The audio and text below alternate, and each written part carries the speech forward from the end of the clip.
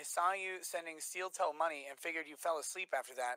Hope you sent April a shitload of flowers and alcohol after you dropped her while dancing. Dropped her while dancing.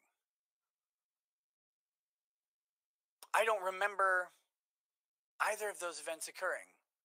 But that's funny if they did. No, I didn't do that though. Flowers and money, no.